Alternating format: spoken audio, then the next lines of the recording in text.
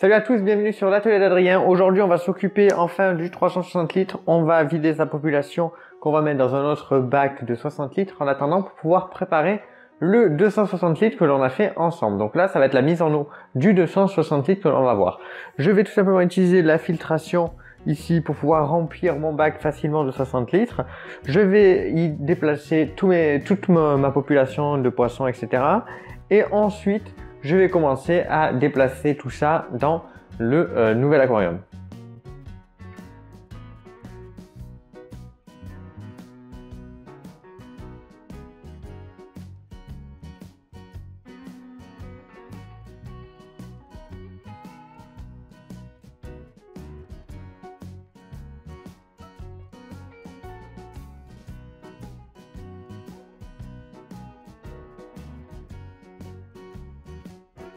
Bon, étant donné qu'ils sont assez coriaces à capturer, ce que je vais faire, c'est que je vais baisser encore plus le niveau d'eau.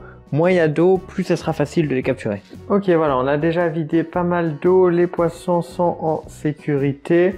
Euh, donc, euh, ça a été un peu compliqué, mais c'est bon, c'est fait. Maintenant, ce que je vais devoir faire, c'est de retirer encore le plus d'eau possible et de euh, un petit peu trier parce que là on a de la pouzzolane mélangée avec de la manado et nous, eh ben, on veut la pouzzolane au fond et la manado au-dessus dans notre nouveau bac. Euh, donc du coup, il va falloir récupérer cette manado, puisque je vais la récupérer pour le mettre dans notre bac, et trier un petit peu, retirer le plus gros des pierres pour que de préférence en surface, il n'y ait pas de euh, qui n'est pas l'idéal euh, pour les barbillons, tout ça de nos, euh, de nos corridoras. Donc voilà, avec le temps, à force de retourner et de replanter, etc. Plein de fois on a essayé de planter, eh ben, du coup on a fait ressortir la pouzzolane qui était en dessous. Mais donc là on va devoir essayer de faire un petit tri et faire en sorte que ben, euh, toute cette euh, soit bien au fond du bac et non pas euh, au-dessus. Alors on se retrouve plusieurs jours plus tard, qu'est-ce qui s'est passé? J'avais commencé à mettre le sol, les plantes, je l'avais mis en eau, comme vous pourrez le voir vite fait à l'image, et, et le joint du fond a fui. Voilà, alors, euh, chose à savoir, quand on fait un silicone, même si vous mettez plein d'eau dans votre aquarium et que tout va bien, dites-vous que ben, le poids du gravier sur le silicone influence. Donc du coup, j'ai retiré le silicone qu'il y avait dans le fond de l'aquarium et j'ai refait tout le silicone comme vous pouvez le voir sur l'image. Du coup, on se retrouve maintenant encore plus tard quand le silicone a bien séché euh, et on va pouvoir mettre donc le sol et commencer vraiment de nouveau la mise en eau de notre aquarium. Il faut savoir qu'avant la première mise en eau, on avait passé à peu près deux heures avec ma femme à trier la pouzzolane et la manado. Donc bon, un plaisir. On a récupéré le plus de euh, manado possible, mais on a quand même beaucoup de pouzzolane qui est, qui est de nouveau mélangé à manado et j'ai pas envie de faire le tri.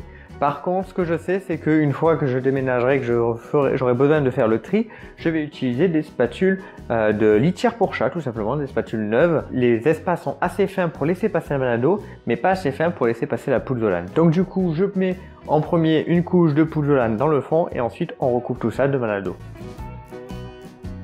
Voilà, la pouzzolane est surtout à l'arrière du bac et la manado va être au-dessus et à l'avant. Voilà, c'est fait. Alors, il faut savoir qu'il y a plus d'épaisseur au fond qu'à l'avant, hein. Mais personnellement, je ne sais pas si de toute façon, vous arrivez, vous, à garder une différence de niveau dans aquariums. Moi j'ai l'impression que tout le temps au bout d'un moment ça finit par se tasser et tout finit par se mettre au même niveau, à moins peut-être de mettre des vraies grosses pierres en dessous.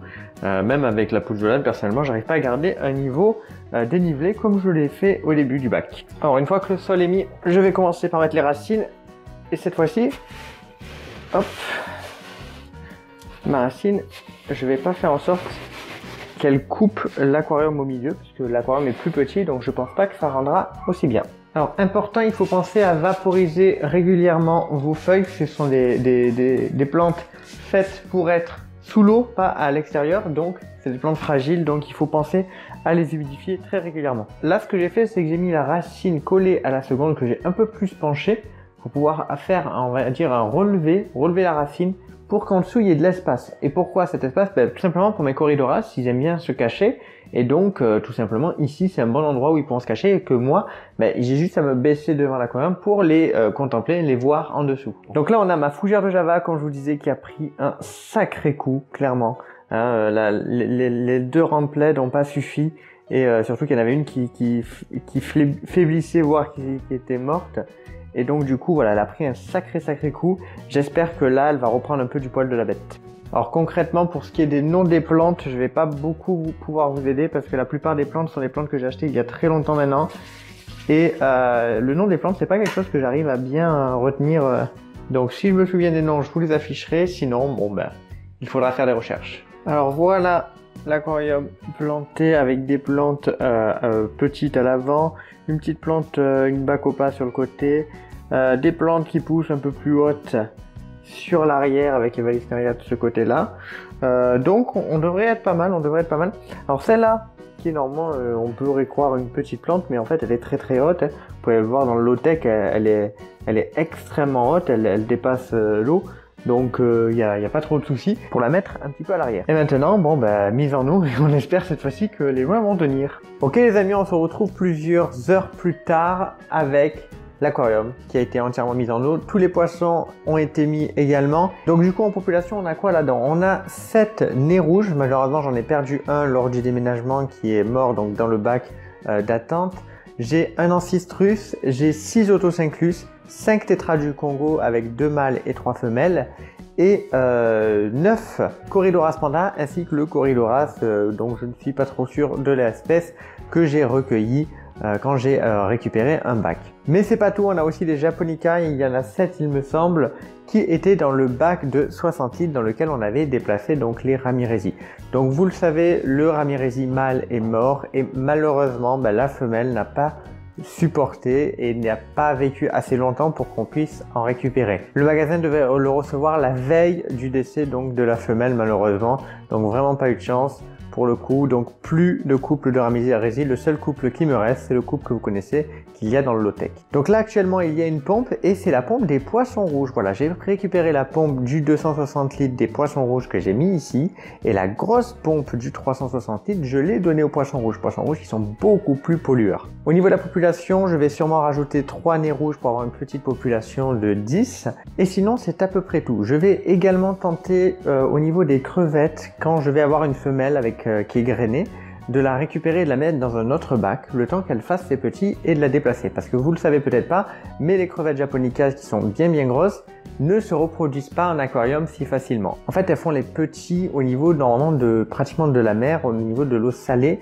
Donc il va falloir que moi je euh, déplace la mer dans un bac, qu'elle ait ses petits et que je transforme l'aquarium où il y a les petits en eau saumâtre tout simplement. Donc ça risque d'être très compliqué, je ne sais pas si on va y arriver, mais je pense que ça peut être une expérience euh, assez sympa à essayer en tout cas pour avoir toute une portée de japonica. Du coup au niveau des plantes, bon ben on a tout ce qu'il y avait dans le 60 litres et dans le 360 litres. J'ai aussi rajouté un petit peu de euh, mousse de Java que j'ai récupéré du low-tech. Erreur de ma part, j'ai mis la mousse de Java avant de mettre la filtration, du coup elle s'est euh, salie, elle est remplie de poussière et de saleté mais je pense que les japonica vont venir faire un petit peu le ménage par la suite. Au niveau des plantes, je vais voir de rajouter un petit peu de CO2 quelque temps, le temps de bien les aider à reprendre et à pousser à l'intérieur du bac. Euh, vous le savez, mes poissons, surtout les tétras, sont des poissons qui sont très peureux. En tout cas, ils sont très intimidés. Ils ont très peur. Dès qu'on s'approche des vitres, ils s'en vont assez vite.